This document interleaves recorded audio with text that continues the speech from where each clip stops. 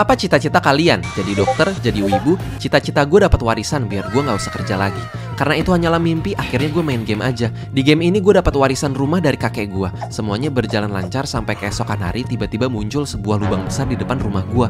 Ternyata lubang besar ini hidup dan lapar. Lubang ini gak makan binatang melainkan manusia. Alhasil gue membunuh orang dan memberi makan lubang ini daging manusia. Tapi tiba-tiba gue dilempar ke dalam lubang ini oleh sebuah makhluk. Dan ternyata ada sesuatu yang hidup di dalam lubang ini dan dia sangat besar. Tonton fullnya di YouTube gue.